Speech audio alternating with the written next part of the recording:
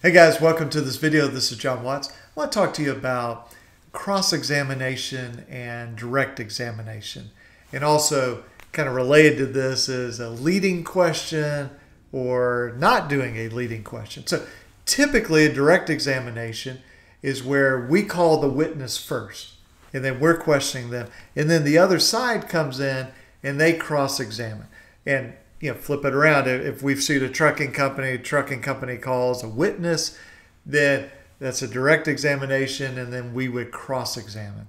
Now, it can get a little confusing because sometimes we may call, uh, like, our very first witness may be the defense of what's called corporate representative. So that's direct examination, but we can use leading questions. So uh, we'll, we'll cover that in another video. But basically, direct examination you do not use leading questions. Cross examination, you do. So, what's a leading question and what's a non leading question?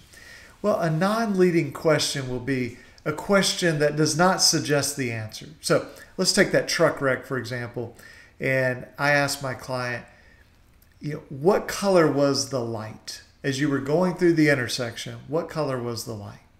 Well, I'm not suggesting it was green or yellow or red or flashing or anything. I'm just saying, what color was it?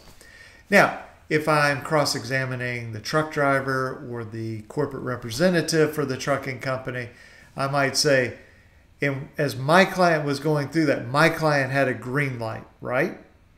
So I'm suggesting the answer, and really what they have to do is say yes or no. But when you are doing a non leading question, it's more open ended. So again, you might say, well, how fast was the truck driver going? Okay, so I don't say, now that truck driver was going 75 miles an hour and a 30 mile an hour.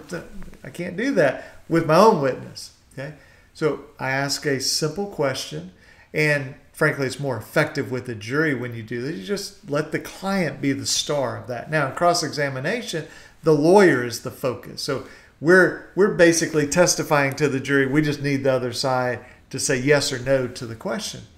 But if I'm, again, cross examining the truck driver, the corporate representative of the trucking company, I might say, now you know the speed limit in that area was 35 miles an hour, right?